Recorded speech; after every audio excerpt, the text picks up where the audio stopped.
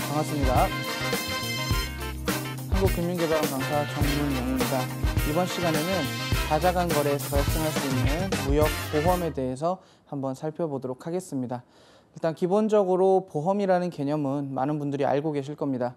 특수한 위험 상황에 닥쳤을 때 그것을 담보하기 위해서 피보험자 혹은 보험계약자가 보험자에게 보험을 드는 것을 보험이라고 하죠. 그래서 보험 같은 경우는 여러분들이 알 수 있는 상황, 즉 예상할 수 있는 상황, 그리고 예기치 못한 상황들, 예상할 수 없는 상황들에 있어서 담보하는 내용들, 보험자와 약속하는 개념들에 대해서 피보험 이익, 즉 보상을 받는 것이 바로 무역 보험입니다. 오늘은 이러한 내용들에 대해서 한번 살펴보도록 하겠습니다.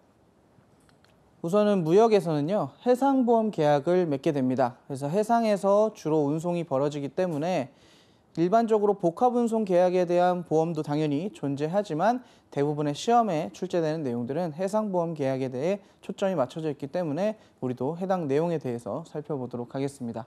해상보험 계약의 개요입니다. 첫 번째 해상보험이란 해상 사업에 관한 사고로 인하여 생길 손해를 보상하는 것을 목적으로 하는 보험을 이야기합니다. 운송을 하다 보면 선원들이나 선장 혹은 제3자에 의해서 사고가 발생하는 경우도 있고요.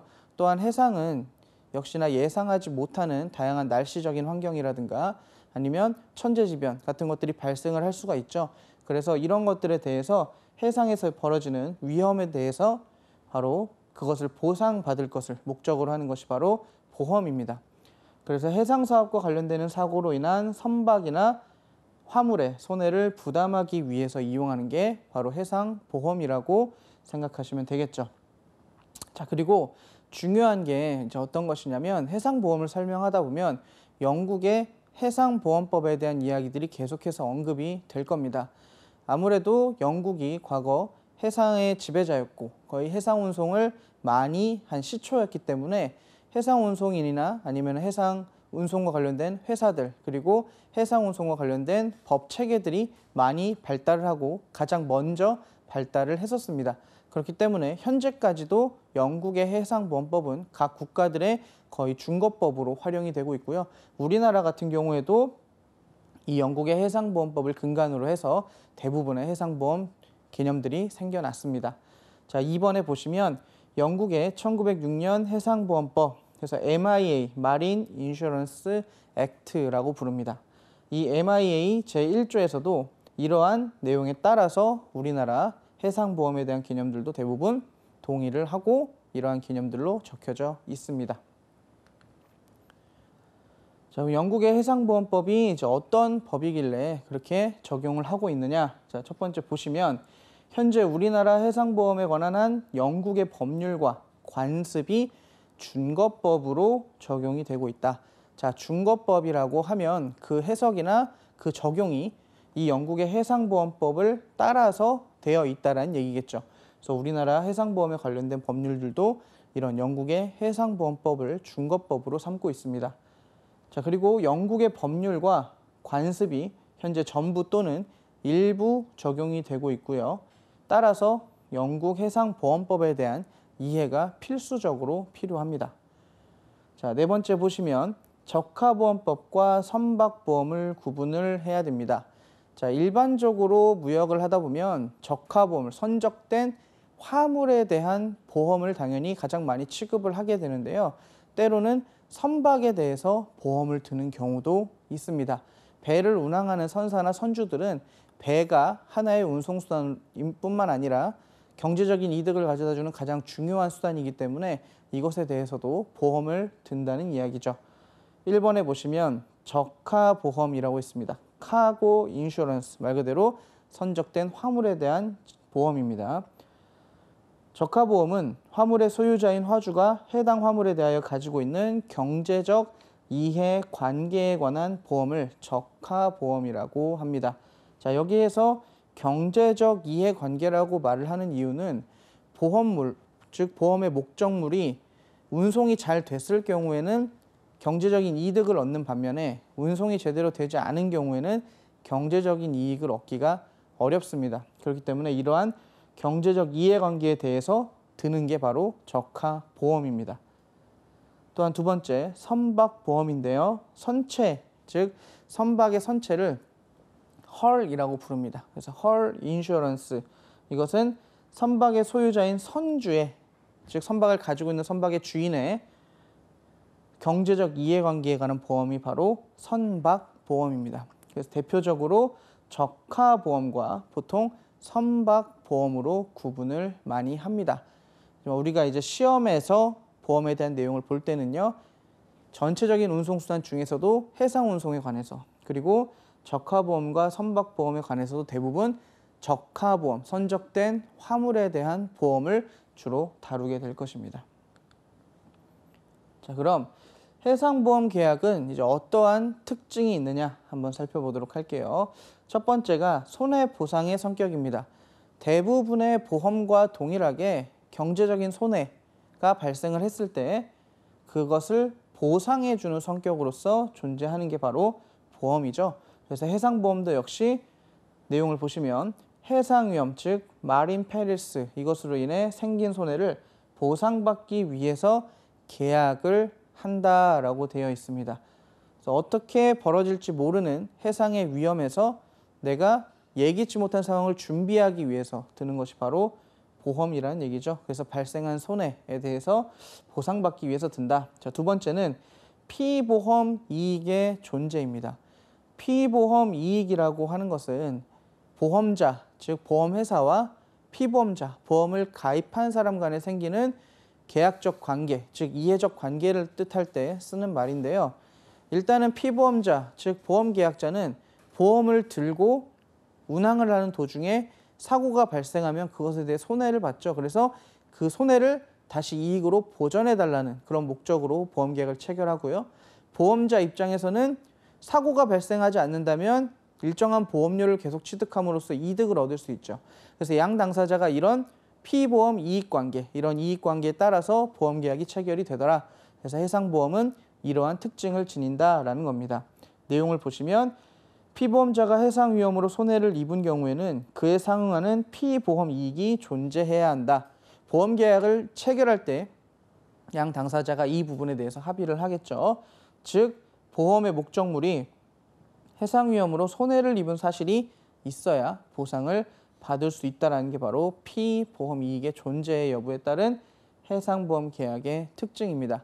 여러분들이 잘 알고 있는 일반적인 보험의 특징과 유사하지만 무역에 있는 해상보험에서는 이런 피보험 이익이라는 이해관계가 특수하게 존재한다는 걸 하나 더 추가해서 기억을 하시면 되겠습니다. 자 그렇다면 이 피보험 이익에 대해서 한번 자세히 살펴보도록 하겠습니다. 첫 번째는 피보험 이익의 의미입니다. 보험의 목적물에 대하여 특정인이 갖는 이해관계다. 라는 거죠.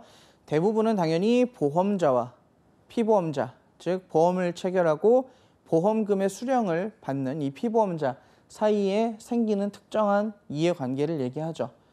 그래서 보험 계약에 의해 보험상의 보호를 받을 수 있는 화물이나 선박이 있을 때 그 대상이 가진 경제적 이익, 즉 이것이 있을 때 아, 이것을 피보험 이익이라고 하는구나 자, 그리고 두 번째, 피보험 이익의 특징입니다. 보험 사고로 손해를 입은 경우. 자, 보험 사고가 발생을 하면 내 보험 목적물이 즉 보험을 가입했던 해당하는 화물이 손상을 입게 되죠.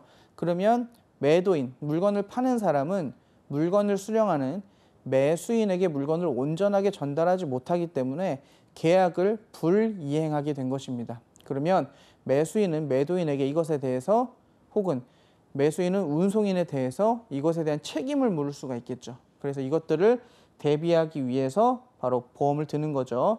근데 이 상황에서 피보험자, 즉 보험금을 수령할 사람이 경제적 이해관계, 손해를 다시 보전받는 이러한 이익을 얻게 되기 때문에 피보험 이익은 이런 보험 사고로 손해를 입는 경우에 발생한다라고 이야기를 하고요. 두 번째는 해상 위험이 발생하는 경우입니다. 따라서 이해관계인이 해상 위험이 발생한 경우에 그것이 보험에서 담보하는 상황인 경우에는 이러한 피보험 이익이 경제적인 형태로 보상이 지급이 되고 이런 경제적 이익을 얻게 되는 거죠. 그래서 여러분들이 이 내용을 계속 듣다 보면 피보험 이익 관계에서 보상을 받는 보험 계약자나 피보험자는 분명히 손해가 발생하면 그 손해에 대해서 보전을 받기 때문에 아, 이득을 얻는 대상이구나라는 것은 아주 명확하게 느끼실 수 있을 텐데요.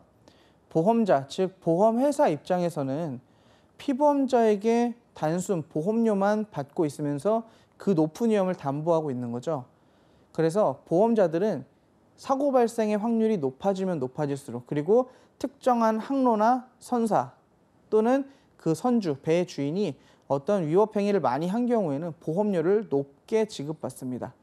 그래서 이런 피보험 이익 관계를 계속해서 유지해 나갈 수 있게 되는 겁니다. 자, 그럼 피보험 이익이 어떻게 해야 발생을 하는지 한번 보도록 할게요. 이 해당 내용은 시험에서 자주 등장을 하기 때문에 여러분들이 반드시 잘 기억을 해 두셔야겠습니다. 기억해 보시면 적법성입니다. 피보험 이익이 발생을 하려면 반드시 그 계약의 내용이 적법하게 합법적으로 이루어진 것이어야 됩니다.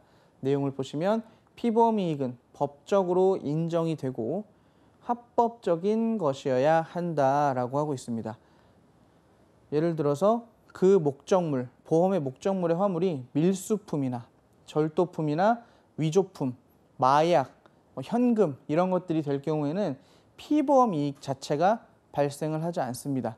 자, 그러면 만약에 저런 물건들을 하면서 보험 계약을 이미 체결했다라고 하면 추후에 손해배상을 받을 수 있냐? 당연히 적법하게 이루어진 것이 아니기 때문에 그 보험 계약은 무효로 돌아갑니다.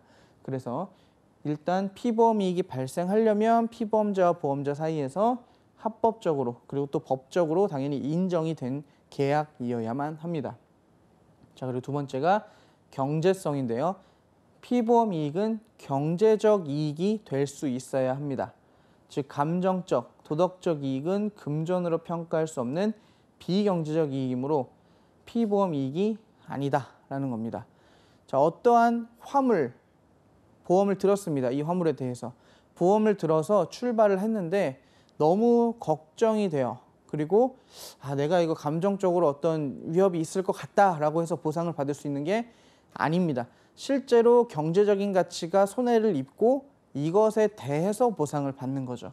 그리고 도덕적 이익이라고 해서 실제 화물이 안전하게 배송이 그러니까 운송이 됐거나 아니면 운송이 됐음에도 불구하고 이것에 대한 이익을 내가 저, 정확히 보지 못하겠다라는 어떤 감정적인 표현 혹은 도덕적인 개념에 따라서 보험을 요구하는 경우에는 이것은 경제적인 이익으로 매길 수가 없기 때문에 이러한 것들은 피보험 이익의 경제적 이익이 될 수 없고 경제성을 지닌 것이 아니기 때문에 당연히 피보험 이익으로서 요건이 충족되지 않습니다.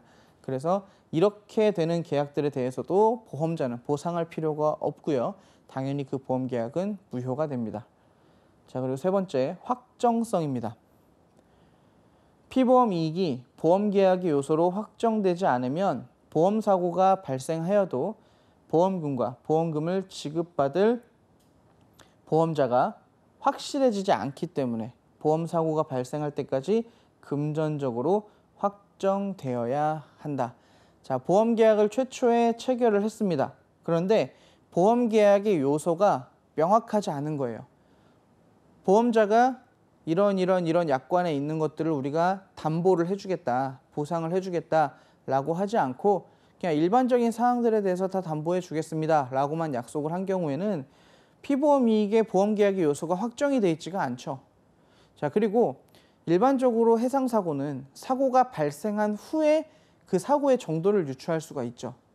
반드시 화물이 어느 높이에서 어디로 떨어졌다 혹은 어디에서 어디로 굴렀다라고 하는 경우에 미리 사고가 일어나기 전에 그 손해의 정도를 예측하기는 어렵습니다. 따라서 해상 사고가 발생한 후에 그 발생의 사실을 그때 갔을 때 금전적으로 확정하는 것이고 당연히 그 보험 사고의 내용은 이미 보험 계약의 요소에 다 포함이 되어서 확정이 돼 있어야 된다는 얘기죠. 자, 그래서 시험에서 어떻게 물어보냐면요. 이 확정성을 가지고 도대체 확정이 되는 시기가 언제냐. 그럼 피보험 이익과 보험자와 피보험자의 관계가 확정이 되는 시기가 언제냐라고 이야기를 한다면 실제 보험 사고가 발생했던 시기라고 답을 하셔야 그때가 됐을 때 보험 계약의 요소 중에서 어떤 걸 가지고 피보험 이익을 서로 보상하고 지급할 것인지에 대해서 정해지는 겁니다. 그래서 이 확정성에 대한 개념도 여러분들이 잘 기억을 하셔야겠습니다. 자, 그렇다면 이러한 해상보험들이 종류가 어떤 것들인지 한번 살펴봐야겠죠. 자, 첫 번째 피보험 이익에 의한 분류로서 선박보험이 있습니다. 그래서 헐 인슈런스라고도 하고 인슈런스 온 쉽이라고도 부릅니다. 선박의 소유자가 보험의 목적인 선박에 대하여 피보험 이익을 부보하는 보험이다. 그래서 일반적으로 선체 보험이라고도 합니다. 그래서 선박 자체에 대해서만 보험을 드는 겁니다. 자, 그리고 두 번째 가장 많이 드는 적하 보험이죠. 카고 인슈런스 혹은 인슈런스 온 굿즈라고 해서 상품에 대해서 보험을 드는 겁니다. 화물의 소유자가 보험의 목적인 화물에 대한 피보험 이익을 부보하는 보험이 바로 적하보험입니다. 앞서 설명드렸다시피 해상보험 계약에서 대부분의 보험들은 이 적하보험에 해당이 되죠. 자, 세 번째가 운임보험입니다. 그래서 Freight Insurance라고 부르는데요. 선박의 소유자, 운송인, 운송 주선인 등이 화물 또는 여객을 운송한 경우 얻을 수 있는 운임에 대한 피보험 이익을 부보하는 방법이 바로 운임보험입니다. 실제로 운임 같은 경우 선불일 경우에는 큰 문제가 발생하지가 않습니다. 이미 비용을 지불을 하고 출발하기 때문에 문제가 많이 발생하지 않는데 운임이 후불인 경우에는 이 운임에 대해서 선사나 선주가 받지 못할 확률이 생겨나게 됩니다. 그래서 이럴 때는 운임보험을 드는 경우도 있죠. 그리고 그 운임보험을 들 때는 그것이 바로 이제 화물이냐 아니면 그것이 사람이냐 여객이냐의 여부를 가리는 것이 아니라 어떤 것이든지 freight 운임이라고 하는 것에 대해서는 다 보험을 가입할 수가 있습니다. 자, 또한 보험 기간을 가지고 분류를 할 수 있는데요. 첫 번째가 항해 보험입니다. 그래서 Voyage Insurance라고 하는데요. 한 번에 항해를 할 때 이 항해 내에서 위험에 대한 손해가 발생을 한다면 이것을 보상받기로 하는 보험이 바로 항해보험이죠. 그래서 이 항해보험은 항해 단위를 기준으로 보험자의 책임이 정해지는 보험으로서 주로 적하보험에서 많이 사용을 합니다. 여러분들이 일반적으로 부르는 해상보험 계약이다 라고 할 때는 이 항해보험을 거의 다 이야기를 하는 것이죠. 자, 그리고 두 번째가 기간보험입니다. 일정한 기간을 기준으로 보험자의 책임이 정해지는 보험으로 주로 선박보험에서 사용을 하게 됩니다. 한 번의 항해나 한 번의 항차가 아니라 전체 굉장히 긴 기간 혹은 짧은 기간이더라도 주로 선박보험에서 사용하는 것으로 기간을 단위로 보험을 들고 그것에 대한 보험료를 내는 것이 바로 기간보험이죠. 자, 그리고 이 항해보험과 기간보험이 합쳐진 혼합보험이 있습니다.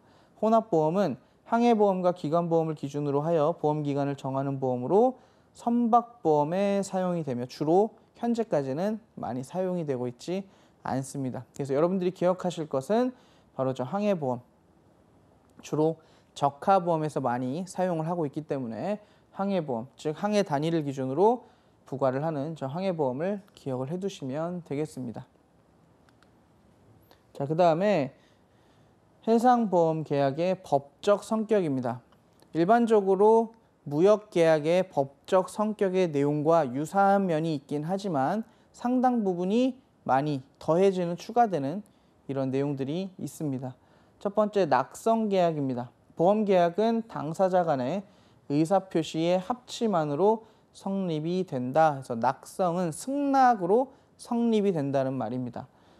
보험 계약자는 최초의 보험자, 즉 보험회사를 찾아가서 내가 원하는 보험의 조건을 물어봅니다. 내가 항해를 이렇게 이렇게 진행을 할 건데 이런 위험들에 대해서 담보받을 수 있는 보험이 있습니까? 라고 하면 실제로 보험자나 보험 계약자들은 여러 사례들을 가지고 약관이라는 것을 대부분 만들어 놓습니다. 그래서 이 약관을 제시하고 설명을 한 다음에 보험 계약자와 의사 합치가 되면 서명을 해서 보험 계약을 체결하게 되죠. 이것을 바로 낙성 계약이라고 합니다. 근데 대부분은 보험 계약자들이 찾아가면 보험자들은 약관의 내용을 하나하나 전부 다 매우 상세하게 알려주기는 현실적으로 쉽지가 않습니다. 그 내용이 상당히 많고 또 설명하는데 시간이 상당 시간 소요가 되죠. 그래서 보통은 약관을 제시를 하고 보험계약자가 읽어본 다음에 그것에 대해서 승낙을 하면 계약을 하는 낙성 계약의 형태로 계약이 많이 이루어지고요. 두 번째는 쌍무 계약입니다. 보험자는 보험계약자와 보험계약을 체결할 때 체결이 된 순간 그 이후부터 보험사고가 발생하면 보험자가 담보하고 있던 그 내용의 사고가 발생하면 보상해 줄 것을 약속을 하게 되는 거죠. 그리고 그것을 이행해야 되고요. 근데 이제 보험자와 달리 보험 계약자 입장에서는 담보를 받는 대신에 반드시 어떻게 해야 돼요? 보험료를 정한 시기마다 지급을 해줘야 됩니다. 또한 보험 계약자는 보험 계약을 체결할 때 거짓으로 들면 안 돼요. 그리고 또한 중요한 사실들, 이 보험의 목적물이 내가 가지고 있는 이 화물이 어떠한 특성을 지니고 있는지 일반적인 화물, 그냥 포장 화물이고 아무 문제가 없다면 상관이 없는데 특수한 화물이거나 위험물이거나 등등 보험의 목적물에 대한 내용을 보험자, 즉 보험회사가 알아야 된다고 할 때는 그것에 대해서 반드시 고지해야 할 의무가 있습니다. 이러한 것들을 양 당사자가 다 의무 관계를 지니기 때문에 쌍무 계약이라고 이야기를 합니다. 자, 그리고 세 번째는 유상 계약입니다. 보험자는 피보험자의 손해를 금전적으로 보상할 것을 약속을 하는 거고요. 보험 계약자는 보험금의 대가로 보험료를 지급하는 거죠. 그냥 무상으로 서로 보험 계약을 체결하고 보상을 해주는 것이 아니라 보험료의 대가로 보험금을 지급하는 상업적 관계, 즉 금전거래가 일어나게 되죠. 그렇기 때문에 이것을 유상계약이라고 이야기를 합니다. 자, 그리고 네 번째는 불요식 계약입니다. 시험에서 여러분들이 많이 헷갈리시는 얘기인데요. 영어로는 informal, formal 하면 은 form이라는 형태가 바로 형식이 정해져 있다라는 개념으로 form이라는 단어를 쓰죠. 근데 informal이라고 하면은 형식을 요구하지 않는 것을 이야기합니다. 그래서 informal contract라고 그래서 불요식 계약이라고 하는데요. 보험 계약의 성립은 당사자 간 합의 외에는 별도의 형식을 필요로 하지 않는다라는 겁니다. 보험 계약을 체결함에 있어서 당사자들의 의견이 합치가 되었으면 그것으로 보험 계약은 체결된 것으로 본다라는 겁니다. 자, 두 번째 보시면 보험 계약이 체결되면 보험 증권이 작성되어 교부되지만 이는 계약 성립의 결과로 보험자가 이행해야 할 의무이므로 요식 계약으로 보지 않는다. 자, 이 부분 때문에 많이 헷갈려 하시는 거예요. 보험 계약을 체결하고 나면 보험자는 보험을 계약한 보험 계약자한테 보험의 증권을 교부하게 됩니다. 그래서 당신이 들은 보험의 내용이 이렇습니다라고 보험 증권을 교부합니다. 그렇기 때문에 흔히 우리는 아, 어떤 형식이 정해져 있는 형식을 요구하는 요식 계약으로 보험 계약을 생각을 하고 있지만 실제로 보험 계약은 구두로 해도 상관이 없고요. 양 당사자의 의사가 합치가 된다면 그리고 적는 것도 상관이 없습니다. 그 어떠한 형태도 요구하지 않는 불요식 계약이라는 거 기억을 해 놓으셔야겠습니다. 실제로 우리나라 민법에서요. 요식 계약에 대한 것들은 많이 없습니다. 대부분은 불요식이죠. 예를 들어 전세 계약을 할 때도 계약서는 계약의 증거로서 남기는 것이지 의사합치로만 해도 보험이 적용이 될 수 있고요. 뭐 예를 들어서 여러 가지 여러분들이 계약을 맺는 우리나라에서 계약을 맺는 상황들에 있어서 대부분 구두로 합의가 되었다는 것이 인정이 되면 그것은 하나의 계약으로 봅니다. 그래서 분료식 계약은 어떠한 형태를 요구하지 않는 것 이것을 이야기합니다. 이게 바로 해상보험계약의 성격 중에 하나죠. 자 그리고 부합 계약이라는 게 있습니다. 앞서서 낙성 계약에서 좀 설명을 드렸었는데요. 보험을 가입하러 가면 보험자는 보험 증권을 교부하게 됩니다. 보험 약관에 이런 이런 이런 내용이 나와 있습니다라는 걸 적어서 보험 계약자한테 교부를 해주는데요. 보험 계약자는 그것을 보고 증권된 증권에 기재된 약관을 보고 아 내가 이 내용으로 다 보험 계약을 체결하겠다라고 하면 이를 승인함으로써 계약이 성립되는 것을 부합 계약이라고 합니다. 제시한 증권에 대한 내용을 내가 동의한다라는 의미로 드는 게 바로 부합 계약입니다. 그래서 비슷한 말이지만 부합 계약 같은 경우는 명확하게 증권상 인쇄된 약관을 제시하고 보험 계약자가 이를 승인함으로써 계약이 성립된다는 개념으로 부합 계약이라고 얘기를 하고요. 이런 의사의 의사의 합치, 의사 표현의 합치는 바로 낙성 계약이라고 부르는 거죠. 두 가지 구분하시는 것도 좀 알아두셔야겠고요. 자, 사행 계약이라고도 합니다. 우리가 흔히 사행성, 즉 도박, 확률의 가능성을 가지고 하는 것들을 이야기하는데요.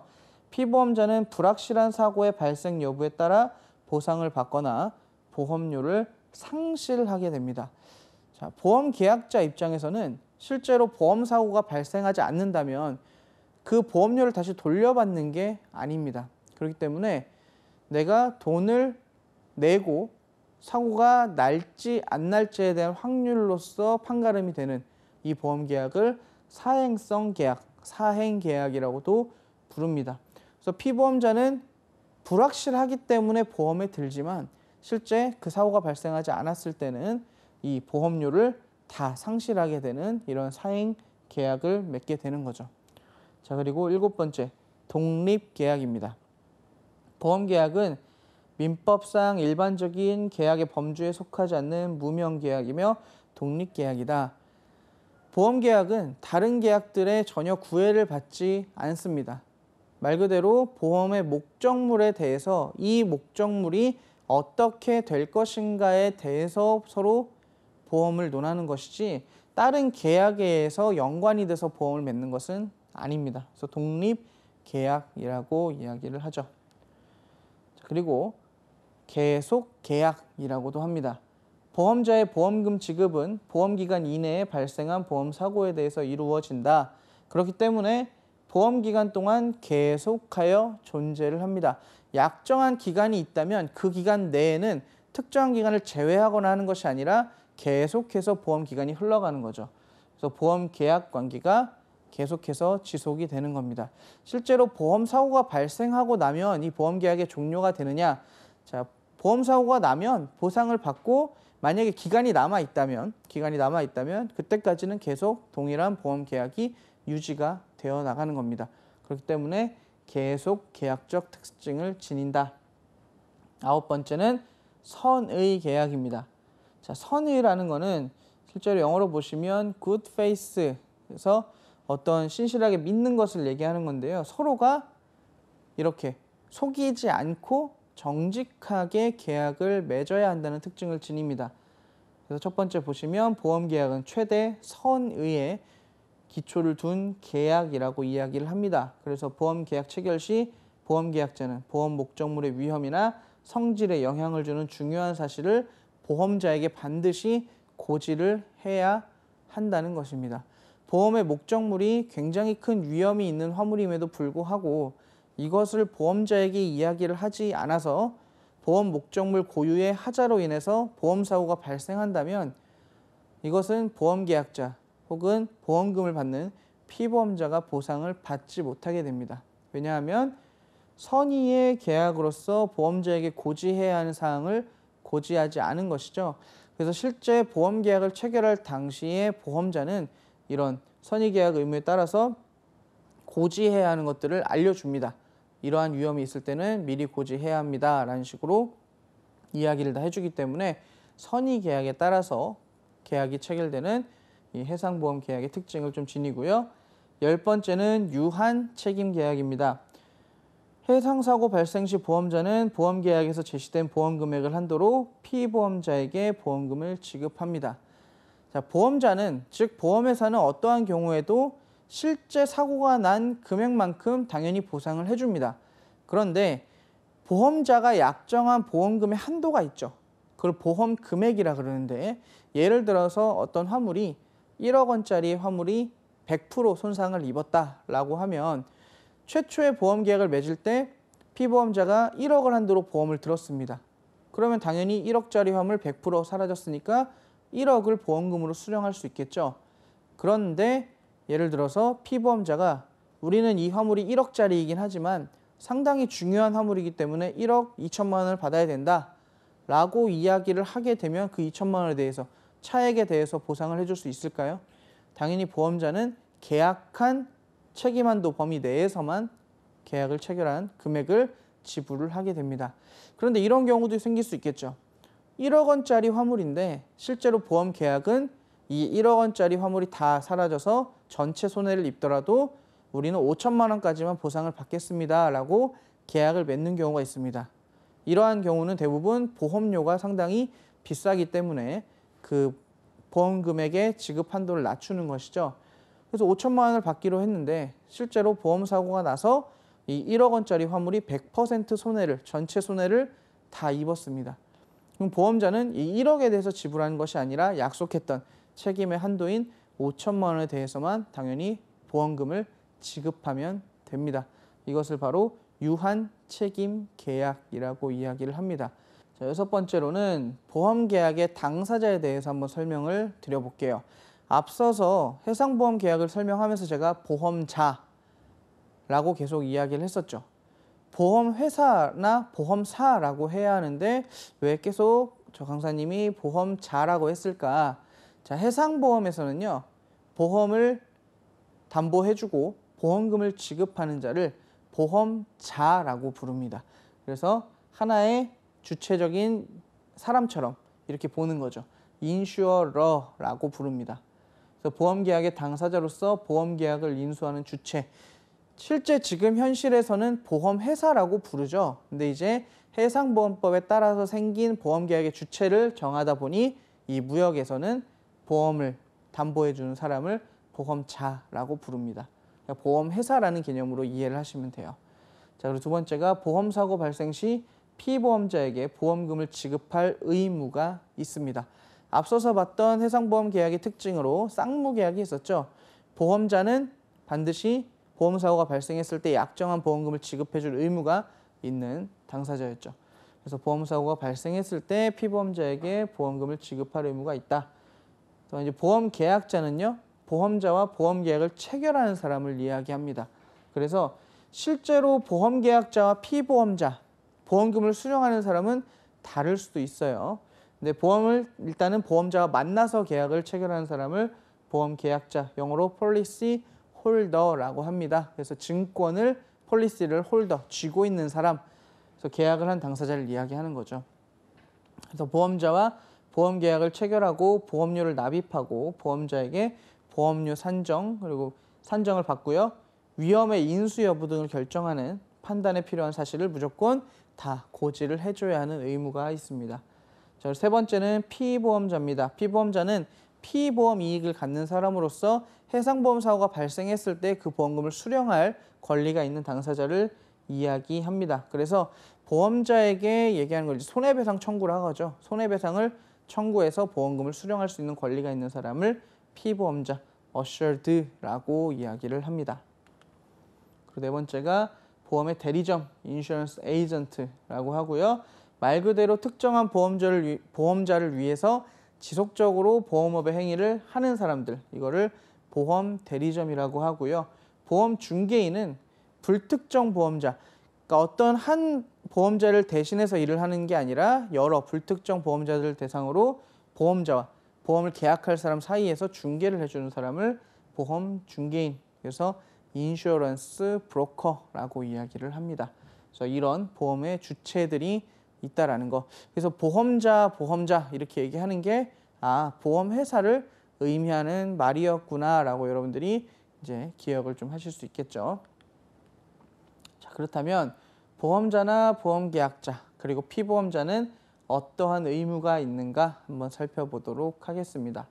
첫 번째 보험자의 의무는 가장 기본적인 겁니다. 손해배상의 의무가 있죠. 해상보험자는 해상운송과 관련된 사고의 발생으로 인한 피보험 이익의 손해에 대해서 보상할 의무가 있습니다. 그리고 두 번째가 보험증권의 교부 의무. 보험자는 보험계약 체결 시 보험증권을 교부할 의무는 계약 체결에 영향을 미치지 않는다. 보험자는 보험 계약을 체결한 다음에 보험증권을 교부를 해줍니다. 그런데 보험증권을 교부하지 않았다라고 해서 계약이 체결된 것이 아니다라고 주장을 할 수는 없다는 거죠. 말 그대로 분료식 계약이기 때문에 그렇습니다. 세 번째 보험료에 반환 의무. 보험 계약이 무효가 되거나 보험 사고 발생 전 보험 계약이 해지가 됐을 때는 보험료의 전부 또는 일부를 당연히 반환을 해줘야겠죠. 자, 그래서 이런 내용들로 진행이 되고요. 보험자 같은 경우는 통상적으로 보험에 대한 내용들을 다 담보를 하고는 있지만 본인이 체결한 내용에 대해서만 담보를 하는 거죠. 근데 그 내용에 대해서는 상당한 의무를 가진다는 거 그리고 그 대신 보험료를 받는 사람이라는 거 요거를 잘 기억을 하시면 되겠습니다. 자, 그 다음에 보험 계약자나 피보험자의 의무가 있는데요. 보험료를 지급해야 되는 의무가 있습니다. 보험 계약자한테. 그래서 보험자와 보험을 드는데 보험자와 위험을 부담하는 대가로서 보험 계약자는 보험료를 지급해야 한다. 그래서 보험자가 보상금을 지급해주는 보험금을 지급해주는 대신에 항상 보험료를 받는 거죠. 그리고 고지 의무라 그래서 말씀드린 대로 선의의 계약에 의해서 보험 계약자는 보험 계약 시 보험의 인수 여부 및 계약 내용의 결정에 영향을 줄 수 있는 모든 중요 사실을 고지해야 하겠습니다. 자, 그리고 통지 의무도 있는데요. 보험계약자는 보험계약 체결 후 위험이 현저하게 증가하거나 변경되는 경우 또는 보험사고가 발생한 경우에는 이게 이제 보험 해상보험법에 보면 지체 없이 보험자에게 통지를 해야 합니다. 자, 왜 지체 없이 통지를 해야 하냐? 실제로 보험사고가 발생했을 상황을 가지고 손해사정을 진행을 하겠죠. 보험사는. 그래서 보험금을 지급해야 되기 때문에 이것에 대한 것들을 이런 상황들이 발생했을 때는 보험계약자는 지체 없이 보험자에게 통지를 해야 합니다. 자 그리고 네 번째가 손해방지나 경감 의무를 해야 합니다. 피보험자는 보험사고가 발생한다 그래서 그냥 마냥 쳐다보고 있는 것이 아니라 피보험 이익의 보호에 상당한 주의를 기울여야 하고요. 신의성실 원칙에 입각하여 손해를 방지하거나 경감하기 위한 적절하고 합리적인 조치를 강구해야 합니다. 예를 들어서 피보험자가 나는 이제 보험을 들었으니까 화물을 제대로 안 묶어놔도 되겠지. 그냥 선박 위에 올려놓으면 되겠지. 라고 해서 마구잡이식으로 관리를 한다든가 아니면 내부 포장 같은 거는 대충 해도 되겠지. 라는 식으로 한다면 이거는 당연히 잘못된 행동이겠죠. 그래서 손해 방지나 혹은 손해를 경감시키기 위한 주의 의무를 끝까지 다 해야 합니다. 실제로 이런 것들을 하지 않았을 때는 보험자는 보상을 하지 않아도 되겠죠. 자, 그럼 보험 가액이나 보험 금액이나 보험료 이런 것들이 도대체 어떻게 구분이 되는가 한번 설명을 드려보도록 하겠습니다. 첫 번째는 보험 가액입니다. 보험 가액은 피보험 이익을 경제적으로 평가한 금액으로 보험 사고가 발생한 경우 피보험자가 입는 손해액의 최고 한도액을 말하며 보험 사고가 발생하지 않을 경우 피보험자가 가졌을 경제적 이익에 대한 평가액을 의미한다라고 하는데요. 말은 상당히 길지만 간략하게 여러분들이 기억을 하시려면 보험 가액은 피보험 목적물, 즉 보험에 가입하는 그 물건의 평가액입니다. 평가액. 우리가 흔히 시장 가치라고 하는 이야기가 있죠. 그래서 어떤 화물이 시장에서 보통 천만 원에 팔린다 라고 했을 때 예를 들어서 이 화물의 보험 가액은 천만 원이 되는 것입니다. 그래서 실제로 시장에서 평가되고 있는 금액이 바로 보험 가액이죠. 그래서 저 보험 가액이 또 중요한 의미를 지니는 게 뭐냐면 보험자가 보험금을 지급할 때 이 보험 목적물, 피보험 목적물에 보험 가액을 넘어서는 초과해서는 보상을 해주지 않습니다. 화물이 천만 원짜리인데 보험자가 이천만 원을 보상할 의무는 없겠죠. 그렇기 때문에 보험 가액은 아, 시장에서 평가한 경제적 가치 금액을 보험 가액이라고 하는구나. 그래서 영어로도 인슈어런스 밸류라고 해서 그 가치를 평가한 금액을 보험 가액이라고 합니다. 그래서 보험 가액은 실제로 보험에 가입할 때 서로 평가하는 금액이 있겠죠.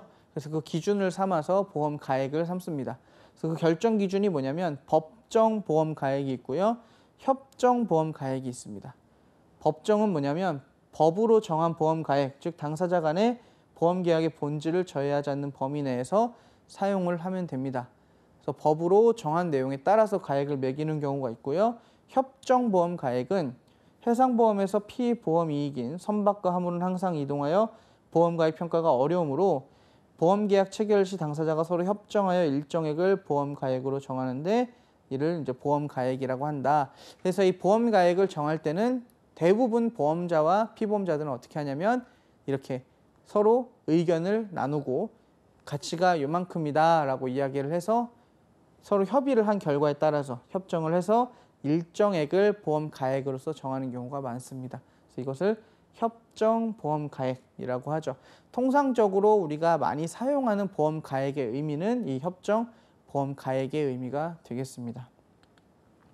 그리고 두 번째가 insured amount라고 해서 amount라고 하면은 일단 총 금액을 얘기하죠. 최고 금액. 자, 보험 금액의 의미가 무엇이냐? 보험 계약 당사자 간의 합의에 의하여 약정된 금액으로 보험자가 부담하는 보상 책임의 최고 한도액을 이야기합니다. 자, 무슨 얘기냐? 보험 가입을 할 때 실제 피보험 목적물을 가져가게 되죠. 아니면은 사진으로 확인을 하든지 아니면은 그 내용을 상세하게 살펴본 다음에 아 이것에 대한 이 화물에 대한 보험 가액은 얼마다라고 정했죠. 정한 다음에 이제 보험 금액을 정합니다. 양 당사자가 만나서 자, 이 화물이 지금 현재 1억 원의 가치가 있는데 이 가치에 대해서 얼마까지 보험을 들겠습니까? 라고 하는 최고 한도액 이 금액이 바로 보험 금액입니다. 1억 원짜리 화물에 대해서 1억 원짜리 보험을 들 수도 있고요. 1억 원짜리 화물이지만 보험료가 너무 부담이 되거나 그럴 가치가 없다고 생각을 해서 그럴 필요가 없다고 생각해서 5천만 원까지만 보험을 들거나 그리고 또한 당연히 이거는 해상운송상에서 사고가 많이 발생하지 않기 때문에 비록 화물이 1억 원짜리지만 나는 혹시나 하는 마음으로 보험을 드는 거기 때문에 30%인 3천만 원까지만 보험 금액을 정하겠습니다라고 여러 가지를 정할 수 있겠죠. 이렇게 보상받을 수 있는 최고 한도액의 가치를 정하는 것이 바로 보험 금액입니다. 자, 니은에 보시면 보험 금액은 당연히 보험 가액을 초과할 수 없고요. 보험자는 보험 금액의 한도 내에서만 보상의 책임을 집니다. 디귿에 보시면 실제 손해가 발생한 경우 보험자가 지급하는 보험금의 최고액은 실손해액과 보험가액 및 보험금액 중 가장 적은 금액으로 하도록 되어 있습니다. 그러니까 보험자는 실제로 보상을 해줄 때도 이 보험금액의 한도 내에서만 보상을 해준다라는 의미가 되겠죠.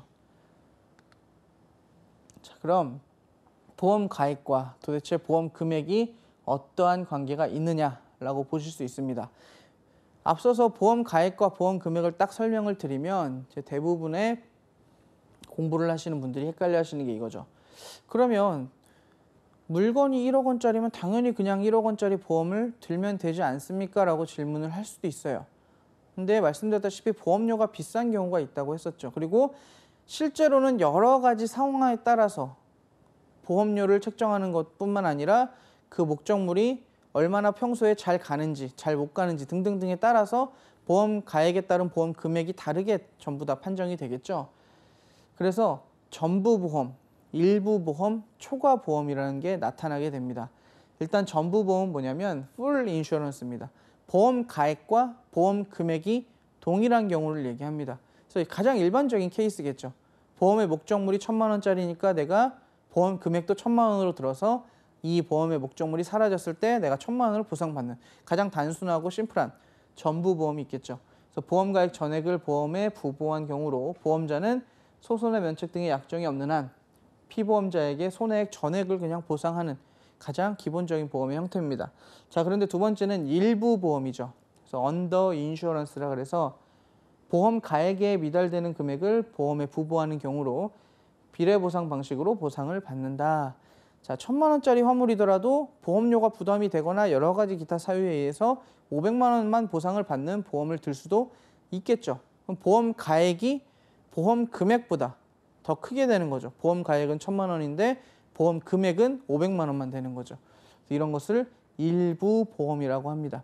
전부 다 보험 가액과 보험 금액 간의 관계를 가지고 이야기를 하는 겁니다. 당연히 초과 보험이라 하면 어떻게 되는 거겠어요? 보험 가액을 넘어서서 보험 금액의 한도를 정하는 것을 초과 보험이라고 하겠죠. 그래서 보험 금액이 보험 가액을 초과하는 보험으로 초과되는 부분의 보험 계약은 당연히 무효가 됩니다. 해상 보험 계약의 특징이 있었죠. 한도. 실제로 가입한 보험 금액의 한도 내에서만 보상을 하는데 이것이 보험 가액을 넘어서는 안 됩니다. 자, 또한 중복 보험이라는 것도 있습니다. 자, 중복 보험과 공동 보험을 두 가지를 좀 같이 보셔야 되는데요. 중복 보험은 말 그대로 double insurance, 공동 보험은 co-insurance라고 합니다. 동일한 피보험 이익 및 위험에 관하여 복수의 보험 계약이 존재하고 그 보험 금액의 합계액이 보험 가액을 초과하는 것을 중복 보험이라고 합니다. 복정물은 하나인데 여러 보험사에서 다 같이 든 거죠. 보험을. 그럴 경우는 어떻게 되겠어요? 보험이 중복이 되기 때문에 보험 가액의 금액을 넘어서겠죠. 자, 근데 공동보험은 중복보험과 동일한 피보험 이익 및 위험에 대해서 복수의 보험 계약이 체결이 되어 있지만 보험 금액의 합계액이 보험 가액을 넘지 않는 겁니다. 천만 원짜리 보험을 가지고 어디는 200만 원, 어디는 300만 원, 어디는 500만 원 이렇게 해가지고 보험 가액을 넘지 않는 선에서 보험을 드는 것은 공동보험이고요. 중복보험은 천만 원짜리 화물에 대해서 여기서 500만 원, 저기서 500만 원, 저기서 500만 원 이렇게 여러 군데서 보험을 드는 것은 중복보험입니다. 그래서 중복보험은 보험 금액이 보험의 가액을 넘는 것, 그리고 공동보험은 보험 금액이 보험 가액을 넘지 않는 범위 안에 있는 것 이렇게 두 가지로 구분이 된다. 그래서 중복보험과 공동보험 구분해서 기억을 해두셔야겠습니다. 그래서 보험료를 보시면 보험료는 이러한 여러 가지 보험에 대해서 보상을 목적으로 주는 걸 보험료라고 했었죠. 자, 밑에는 제가 보험 금액과 보험 가액의 관계를 한번 좀 눈에 보기 쉽게 정리를 해봤는데요. 초과 보험 같은 경우는 보험 가액, 실제로 이 보험 목적물의 가치, 가격보다 보험을 드는 금액이 더 큰 거죠. 그래서 그 나머지 분에 이 보험 가액을 넘는 부분에 대해서는 계약이 무효라고 말씀을 드렸고요. 일부 보험은 보험의 가액, 화물이 천만 원짜리인데 보상을 뭐 천만 원 이하로 받기로 계약하는 이것을 일부 보험이라고 합니다. 전부 보험은 보험의 가액과 보험의 금액이 동일한 경우 이것을 전부 보험이라고 하죠. 그래서 천만 원짜리 화물에 대해서 천만 원 보상받기로 하는 보험을 계약을 체결한다라고 했을 때는 전부 보험이라고 볼 수 있죠. 그래서 시험에서 이 보험 금액과 보험 가액의 관계, 보험 가액과 보험 금액의 관계를 가지고 문제를 많이 출제하니까요. 이것에 대한 내용들은 좀 명확하게 기억을 해 두셔야겠습니다. 자, 그럼 기출 문제를 통해서 한번 내용들 간략하게 정리를 해 보도록 할게요. 자, 2017년 1회차에 나왔던 문제입니다. Choose the best matching이라 그래서 가장 이제 매칭이 잘 되는 것을 고르세요, 선택하세요 라고 되어 있습니다. 자, we are searching for new insurance. 우리는 새로운 보험, new insurance를 searching for 찾고 있습니다. 그래서 company, insurance company, 새로운 회사, 새로운 보험 회사를 찾고 있습니다. 근데 because 왜냐하면 our present 지금 우리의 현재의 땡땡이 increase 자 증가를 하고 있고요. 더 무엇과 자 보시면 당사의 현재 보험업자가 보험료를 인상하여 당사는 새로운 보험회사를 찾고 있습니다 라고 해석이 돼야겠죠. 보험회사를 새로 찾고 있는 이유는 뭐겠어요? 보험료가 계속해서 오르기 때문에 물론 여러 가지 이유들이 있겠지만 이 문장상에서 봤을 때는 our present 현재 우리 보험자가 인슈어러가 increase the premium 보험료를 올리고 있어서 그렇다라고 대답을 해야겠습니다. 자, 프리미엄이라는 게 바로 보험료라는 뜻으로 쓰이는 영어 단어인데요. 왜 프리미엄이라고 하냐면 내가 손해가 발생했을 때 이것을 이익으로 돌려줄 것을 지켜주고 있는 당사자죠. 그렇기 때문에 상당한 나에게 이익을 주는 주체로서 내는 돈이다. 라는 개념에서 프리미엄을 준다라고 이야기를 합니다. 보험료를 낼 때. 그래서 보험료는 해상보험에서 프리미엄이라고 얘기를 하고요. 앞서 말씀드렸다시피 인슈어러 우리가 보험 회사 어떤 컴퍼니라고 얘기를 지칭하는 게 아니라 해상보험에서는 보험 회사를 보험자 인슈어러라고 지칭을 한다고 말씀드렸죠. 그래서 정답은 3번에 있는 인슈어러와 프리미엄 이렇게 들어가야겠네요. 자, 그 다음은 which is the most appropriate interpretation to the following 자, 가장 적절하게 해석한 것은 무엇입니까? 라고 물어보고 있습니다. 자, the insured party notifies the insurer. 자, insured 하면은 피보험자를 얘기하고요. insurer 하면은 보험자를 얘기합니다. 그래서 피보험자의 당사자가 notify, notify 하면은 이제 통지하다, 알려주다 이런 개념으로 쓰이죠. 그래서 notify the insurer, 보험자에게 뭔가를 알려줬답니다. 자, 뒤에 내용이 나오겠죠. of the specific voyages. specific 하면은 특정한, voyage 하면은 항로입니다. 그래서 특정 항로에 대해서 통지를 해줬답니다. to be covered. 보험에서 cover라는 뜻은 보험을 부보한다. 보험에 의해서 보상을 받는다라는 의미로 cover가 쓰입니다. So to be covered under the policy. 증권의 아래에서, 그러니까 under라는 표현은 그 증권의 내용 안에서, 증권에 따라서 이런 얘기가 되겠죠. 그래서 피보험자가 보험자에게 보험 증권에 따라 부보되어야 할 특정 항로를 통지한다라는 의미로 해석이 될 수 있겠습니다. 그래서 정답을 보시면 4번이죠. 여기서 이제 기억하실 게 뭐냐? 더 insured. 자, insured 하면은 assured와 동일하게 피보험자를 지칭하는 단어고요. 또 한 번 말씀드리지만 insurer, insurer는 보험자를 이야기합니다. 또 보험자를 지칭하는 이야기로서 underwriter라는 말도 쓰입니다. Underwriter는 아래쪽에 무언가를 쓰는 사람이라는 표현이죠. underwriter. 근데 그 의미가 뭐냐면 보험 계약을 체결한 다음에 최종적으로 보험업자, 즉 보험자가 보통 서면의 가장 아래쪽에다가 서명을 합니다. 그래서 가장 아래쪽에 서명하는 자라는 의미로 보험자를 underwriter라고도 부릅니다. insurer, underwriter 전부 다 보험자를 지칭하는 얘기입니다. 실제로 이제 시험에서 점점 insurer보다는 underwriter로 쓰는 경우가 많이 등장을 하고 있어요. 자, 그다음에 커버 하면은 말씀을 드렸다시피 보험에 대한 문제가 나왔을 때는 이 cover라는 것은 보험의 보험을 담보한다. 보험의 내용을 우리가 책임진다라는 의미로서 커버라는 말을 쓰고요. 항상 또 말씀을 드렸지만 맨 마지막에 policy라고 했을 때는 보험의 얘기가 나왔을 때는 보험 증권을 얘기를 합니다. 보험 증권. 그래서 요 단어들도 좀 같이 기억을 해 놓으셔야겠고요. 자, 다음. 해상보험 계약이 유효하게 성립하기 위한 피보험 이익의 요건에 해당하지 않는 것은 자, 보험 계약의 특징들 그리고 유효성을 가지기 위한 조건들이 여러 가지가 있었죠. 그것에 대한 문제입니다. 1번에 피보험 이익은 적법성을 가져야 한다. 자, 피보험은 피보험 이익, 즉 보험 계약의 관계는 법으로 인정한 합법적인 적법성을 지녀야 한다고 말씀을 드렸었죠. 그래서 마약이나 밀매품이나 이런 것들은 보험 계약을 체결하더라도 그 계약을 무효로 하게 됩니다.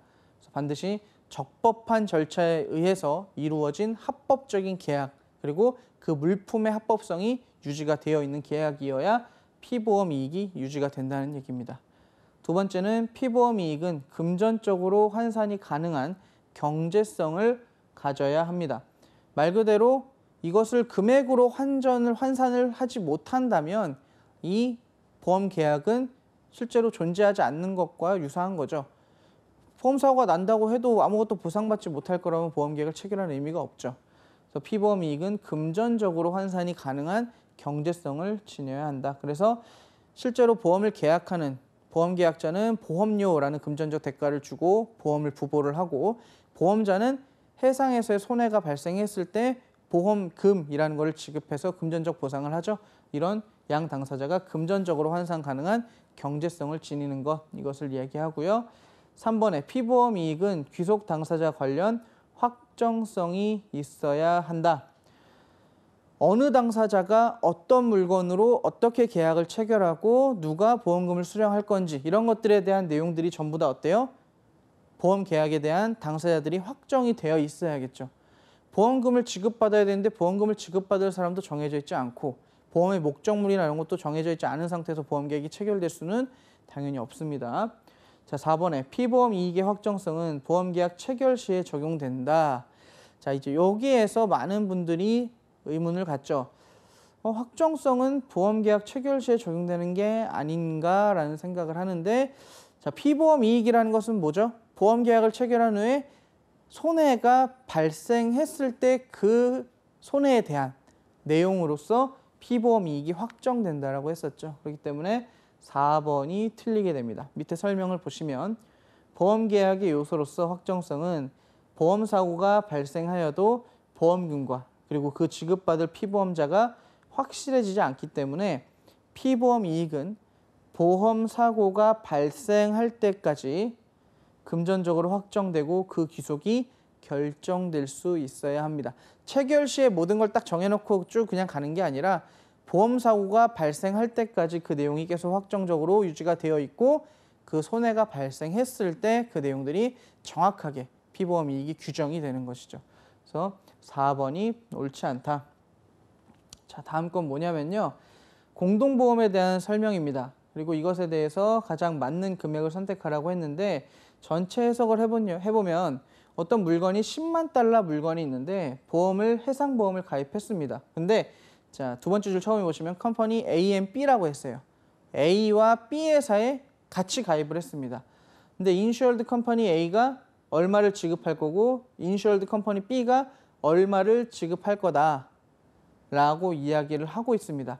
지금 일반적으로 해상보험을 들게 되면 자 아무 조건 없이 지금 문제가 나왔죠. 그렇게 되면 어떻게 되는 거예요?